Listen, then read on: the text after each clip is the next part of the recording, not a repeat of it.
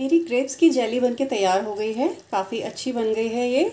और इसे मैं ऐसे ही रखूँगी, थोड़ी देर इसको ठंडा जब करूँगी तो ये काफ़ी अच्छी थिक हो जाएगी। अब मैं इसकी गैस जो है, वो बंद कर देती हूँ और इसको मैं इसे ठंडा होने देती हूँ, जिससे कि ये अच्छे से जेली जो है वो काफ़ी थिक भी हो जाएगी। अभी तो थोड़ी सी लिक्विड लग रही है ना। जब रखेंगे हम इसको ठंडा करेंगे तो ये थिक हो जाएगी। इसको हम ठंडा करने के लिए रखते हैं।